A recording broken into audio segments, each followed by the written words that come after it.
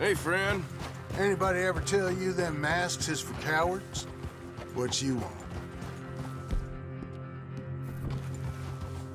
Do I got a help wanted sign on? Move along. Just admiring your horse there. Wondering how an idiot like you ever got a hold of it. Say that again. Oh. I like you much better, Dad.